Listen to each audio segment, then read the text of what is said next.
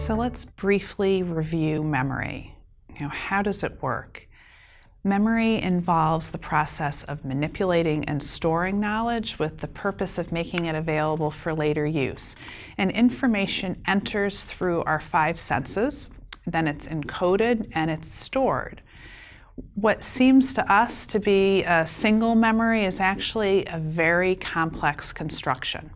If you think of an object, say a pen, your brain retrieves the object's name, its shape, its function, uh, the sound it makes when it scratches across the page.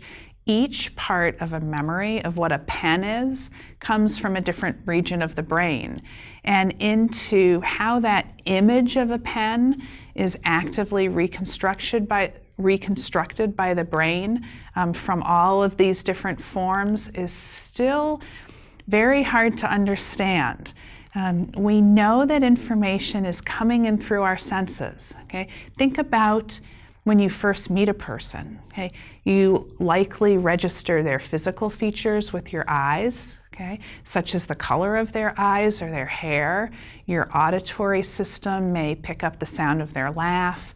You've probably noticed their perfume or their cologne. So we're bringing all of these information, these separate pieces of information in from our senses into our working memory. And that information is gradually transformed from short term memory into long term memory. The more that we are exposed to information, the more that it's repeated or used, the more likely it is to eventually end up in our long term memory or to be retained. You know, that's why studying helps us uh, to perform better on tests, that we have repeated exposure to information. And the spaced retrieval technique gives people repeated exposure and repeated practice at recall.